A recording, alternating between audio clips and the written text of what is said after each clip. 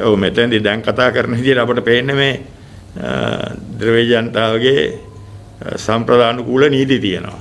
පේසවලාවේ වගේ නීති. ඒගොල්ලෝගේ ඩබ්බල්ට අදාළ ඒගොල්ලෝගේ ජනතාවට බලපාන නීති. උඩ රට නීති තියෙනවා. මුස්ලිම් ජනතාවට සම්ප්‍රදානුකූල නීති තියෙනවා. උදාහරණයක් ඇටියට කාන්තාව හතර දෙනෙක් විවාහ කරගන්න පුළුවන්. ඒ වගේ. අපේ සම්ප්‍රදානුකූල නීති රීති අඩුයි. අපි රටේ තියෙන නීතිත් එක්ක තමයි බුද්ධ ධර්මයට අනුව අපි ජීවත් වෙලා තියෙන්නේ. නමුත් මේ සියලු දේ එක එක විදියකට ගේනවා කියන එක මම දකිනවා ජනතාව අතර නැවත සැකයක් සහ අපහසුතාවයක් ඇති වෙන්න පුළුවන්. සමහර දේවල් තියෙනවා අපිට ප්‍රශ්නයක් නැහැ. මුස්ලිම් කාන්තාව මූණ වහන් යනවා කියන එක අපිට ප්‍රශ්නයක් නෙවෙයිනේ. එවැනි දේ වෙනුවෙනුත් අපේ රටේ සමහරු මෝඩය වගේ කෑ ගැහුවානේ. ඉතින් ඒක හන්දා මේක ඊටාම සංවේදී ප්‍රශ්න මේවා. මේවා සාමයෙන් විසඳ ගන්න ඕනේ. මේවා දේශපාලනීකරණය කරන්න හොඳ නැහැ. මම හිතන්නේ රටේ ජනතාව අතර සාකච්ඡාවක් යම් කිසි ක්‍රමවේදයක් අනුව විසඳෙන්න ඕන ප්‍රශ්න මේවා.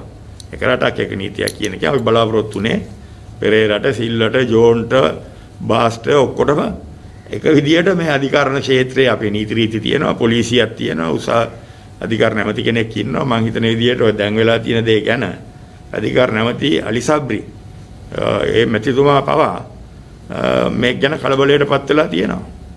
එතුමත් මේක අනුමත කරන්නේ නැහැ කියලා තමයි අපට ආරංචි වෙන්නේ. දැන් ඊ ඥානසාර ආමෝ මාධ්‍ය මාධ්‍යදී කියලා සිටියා මේ දැන් මේ ජනතාව බලන්නේ සහ දේශපාලකයෝ බලන්නේ මේ වැරදි විදිහට මගේ මන් දිහා ඒ කියන්නේ සභාපති ධූරය ගැන විතරක් දිහා බලලා විවේචනය කරනවා නමුත් මේ ක්‍රියාව ගැන කරන්න යන්නේ මොනවද ගැන කතා කරන්නේ නැහැ කියලා. ඇත්තටම මේ උන්වහන්සේ ගැන විතරද මේ විවේචනය තියෙන්නේ. ඉතින් ඕනම කටයුත්තක් බාර දෙන්න ඕනේ, බාර ගන්න ඕනේ.